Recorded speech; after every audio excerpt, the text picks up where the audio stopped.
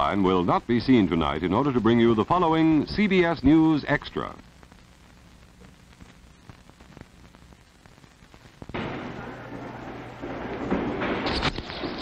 What the revolution looked like in South Vietnam's capital city of Saigon on Saturday morning. All night Friday, the guns of the revolutionary forces had been firing on the loyal government troops and their installations.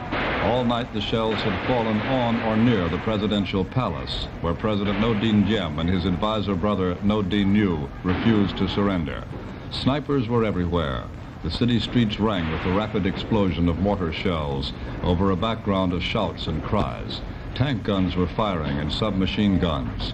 The revolutionary forces had clearly moved according to a well-constructed plan, and they carried it out with skill, sealing off sections of the noisy, smoking city and neutralizing the government forces neighborhood by neighborhood. It was planned with intelligence. That would be a soldier's view. But even among soldiers, the battle broke down into little pieces and became a man with a gun guarding a man who had had a gun but now knelt on the sidewalk of a street with his arms tied with a rope.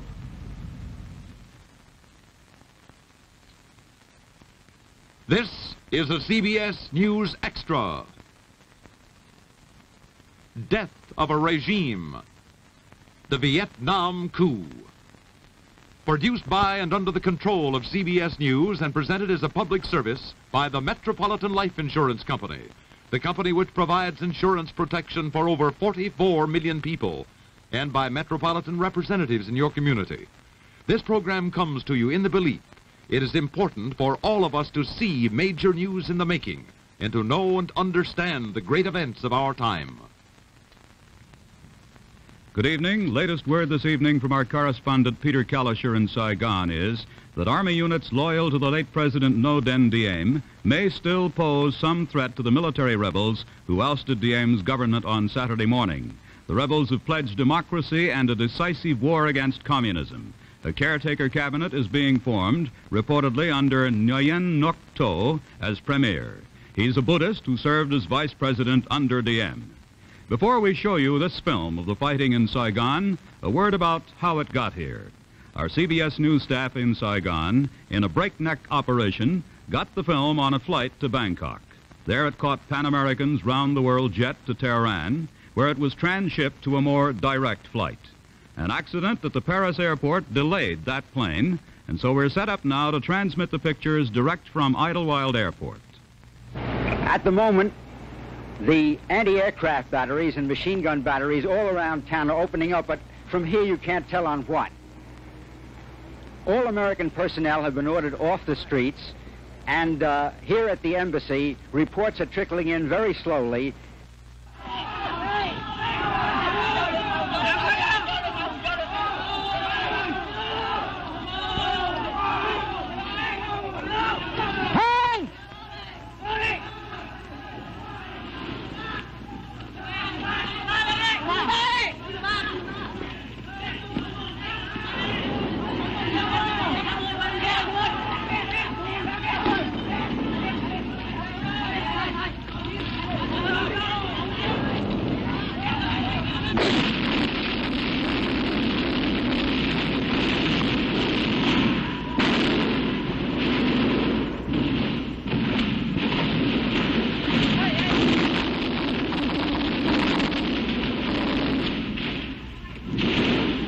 This is Saturday in Saigon. The battle for the city went on for 18 hours, and most of it was centered on the presidential palace, where two men stubbornly held out until the end. This is the palace.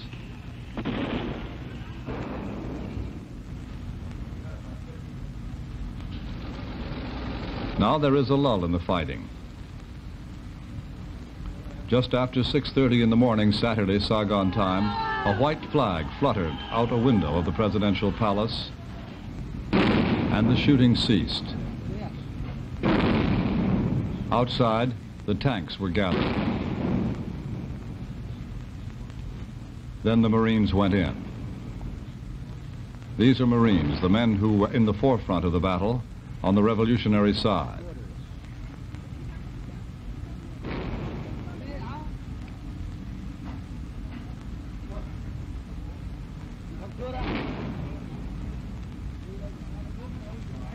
Through a door that obviously is strong and obviously was meant for defense. That's the white flag, a Marine in scorn waving it out the window.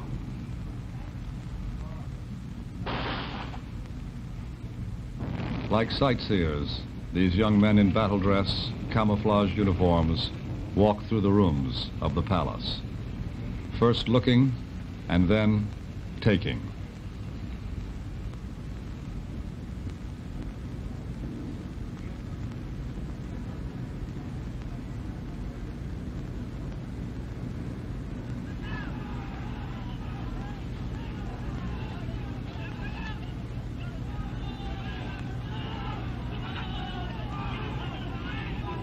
No one has said officially what happened to the two men who held out there so long, President Diem and his brother and advisor. The story in Saigon is that they escaped from this palace through a tunnel, perhaps dressed as Catholic priests, and then were seized by soldiers three hours later in a Catholic church. President Diem killed by gunfire, his brother killed by stabbing. That is the unofficial version. Our reporter at Idlewild Airport, from whence these newly arrived films were projected, was Robert Trout. The story of the Vietnam crisis, a look at the characters and the events that led to revolution. I'll be back with that part of the story after this word from Metropolitan Life. Vietnam became the American key to the security of Southeast Asia soon after the end of French colonial rule there in 1954. The country was split in half at the 17th parallel, the North fell under communist rule. The South was turned free. Since then, the story of South Vietnam has been the story of this man, Ngo Dinh Diem, the son of a noble Mandarin family that turned Roman Catholic back in the 17th century. Diem came to power in 1955. His country had been split in two a year earlier, and with a multi-billion dollar U.S. aid program, Diem built a powerful army as a bulwark against the communist guerrillas in the north. But trouble also came from within. February 27, 1962, rebel elements in Diem's own American-equipped Air Force attacked the palace in Saigon.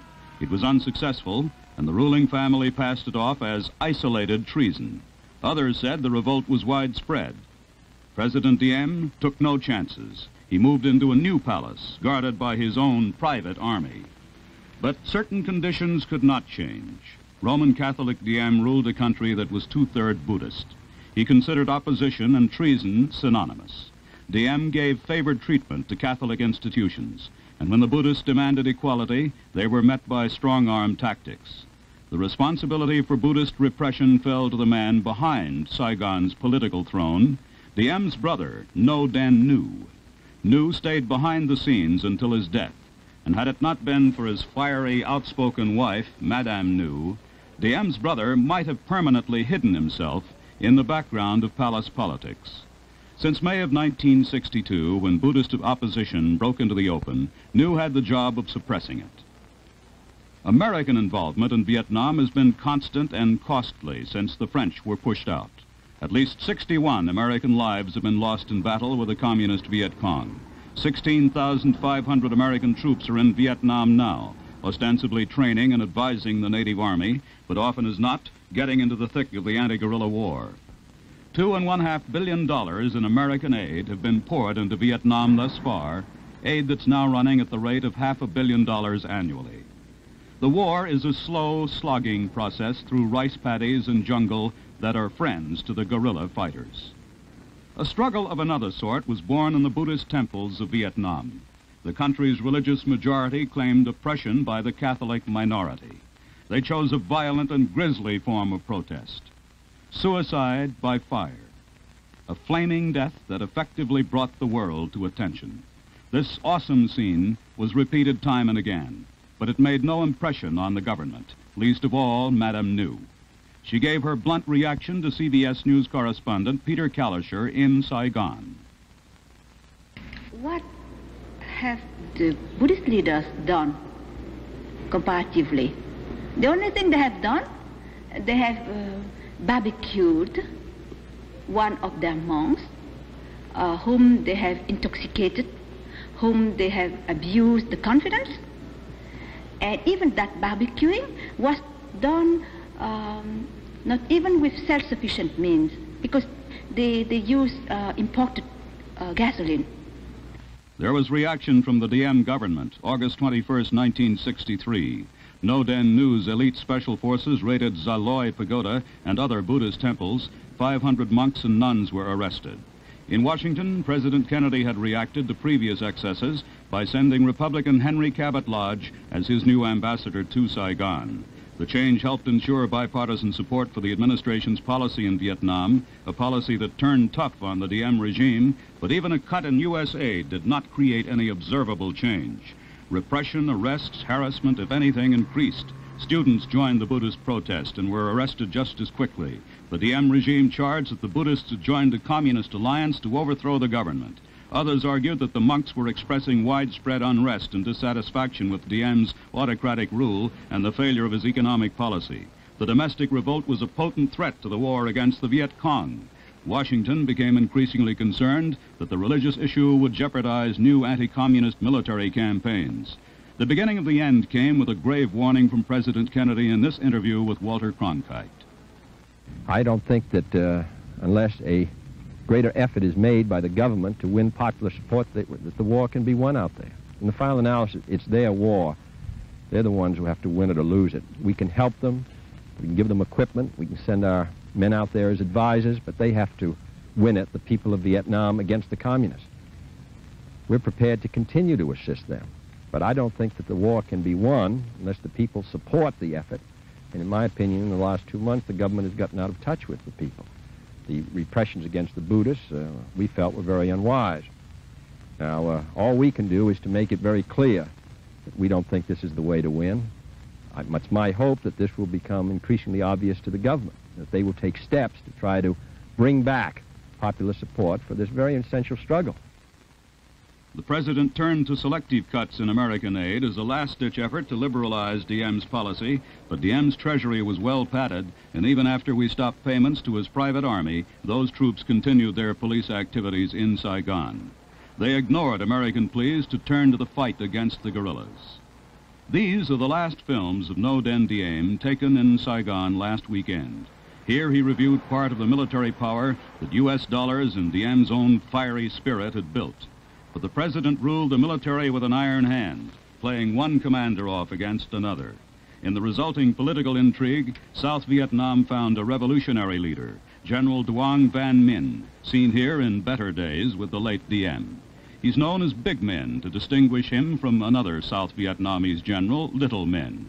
Big Minh was a welcome name to Americans. He's a proven anti-communist warrior. In fact, his success in the field brought him to such national prominence that President Diem, concerned that Minh might become a threat, removed the general from command. With that demotion, Diem, in effect, set up the circumstances that brought about his own downfall and death.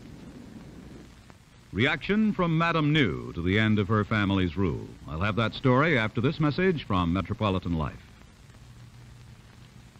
At least one unreconstructed member of the old regime remains in our midst.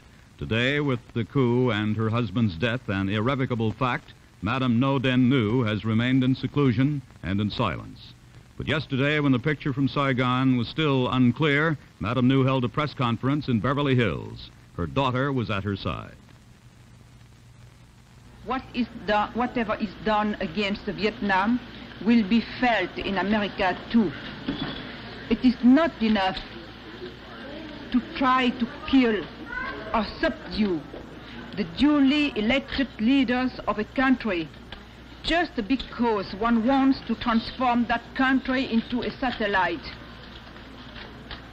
To kill or to subdue is easy. But what will happen afterwards? Treason does not pay.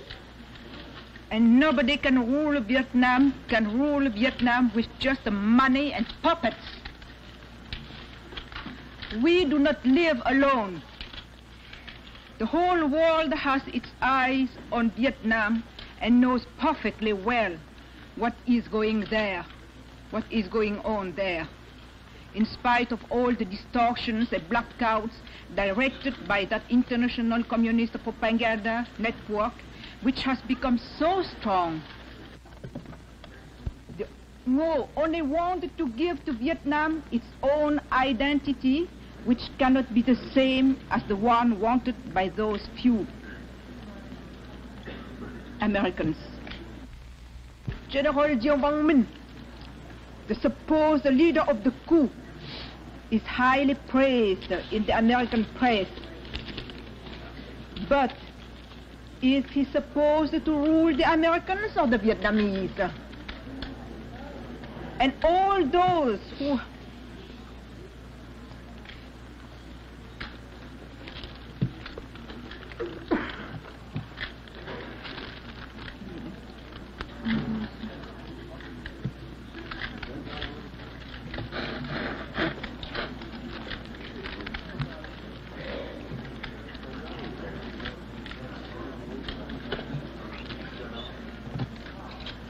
and all those whom some of the Americans intend to settle and to tutor, for how long will they hold the power, if they ever hold the power?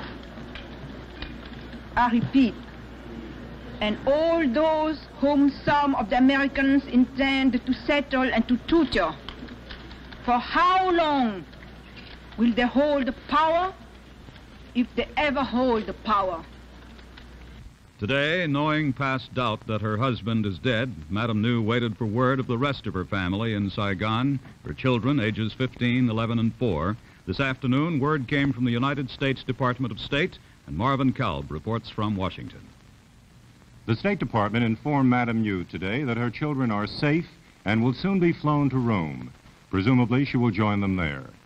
This was the administration's first public communication with the former First Lady of South Vietnam since her arrival in the United States a month ago. Since it comes after the killing of her husband and brother-in-law President Diem, it seems motivated at least in part by a sense of guilt that the coup d'etat which this administration encouraged but apparently did not engineer had to end with violent death for the brothers rather than with banishment to a foreign land which would have been preferred. Tonight, U.S. officials deplore the killing, say they regretted they had happened.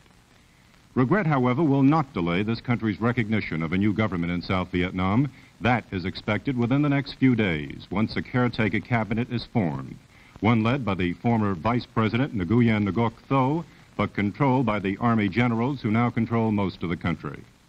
Ambassador Lodge conferred today in Saigon with two of those generals. A source here described their meeting as brief but satisfactory. The ambassador presumably received a tentative list of cabinet members, but this cannot be confirmed here, as well as assurances that the war against the communist guer guerrillas will be waged as effectively as possible. Though the ambassador did not say so, it is understood here that the American economic aid program to South Vietnam, suspended in part a few months ago, will soon be resumed. This is Marvin Kalb in Washington. The view from our capital. But what's the view like in Saigon itself? How did the city they used to call the Paris of the Orient react to the end of the Ngo Dinh Diem and austerity? We'll have some more of that late film just off the jet at Idlewild after this word from Metropolitan Life. It's over. It's over. A long nightmare is over. A criminal dream in which the United States too long pretended that a family regime like Diem's, a family tyranny, really represented the people of the country. These are the people. The students, the ordinary people of Saigon cheering the troops, giving them bread, giving them bananas.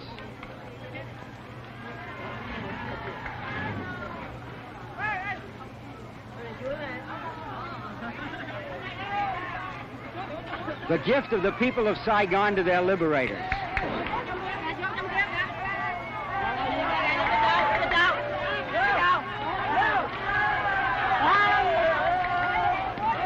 These troops have been fighting all night. They're hungry, and the people know it. That was Peter Kalischer again in Saigon. And this is Robert Trout again at Idlewild Airport. All these scenes after the 18-hour battle was over. The aftermath of the revolutionary fighting in the capital city.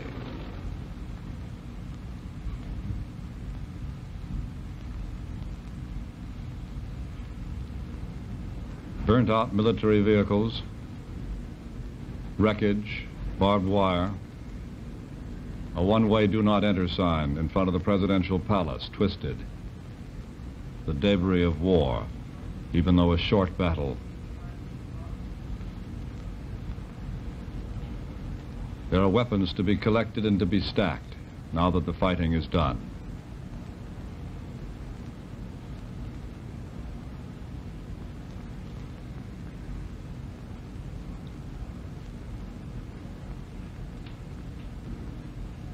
Buildings damaged by gunfire, and cars too. And men.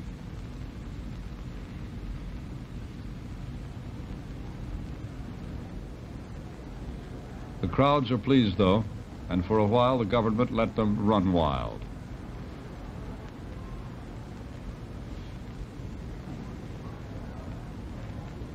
Through the streets, at first aimlessly, then dancing. Dancing the Western dances that had been forbidden by Madame Nhu, the tango and the twist in the streets of Saigon.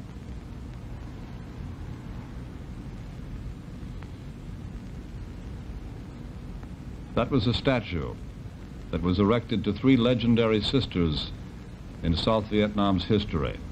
It was said to resemble Madame Nhu, and it was torn down.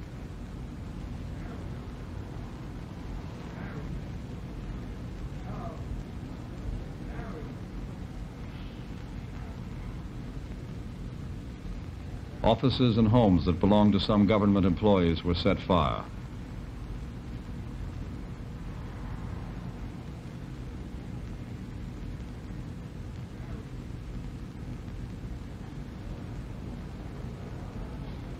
This is not the wreckage of war, but the wreckage of the jubilant celebration afterward.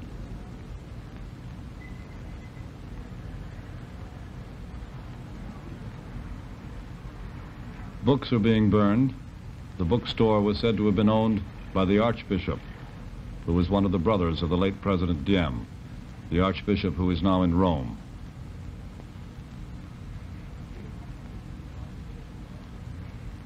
A small witness.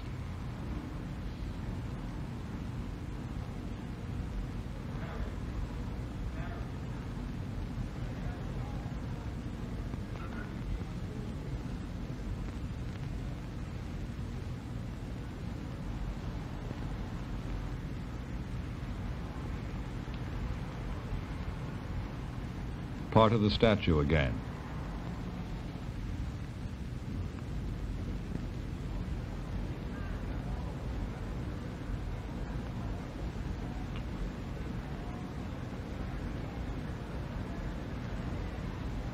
Finally, after many hours, the crowds are told by the troops to behave, to restore order, and to stop the general celebration.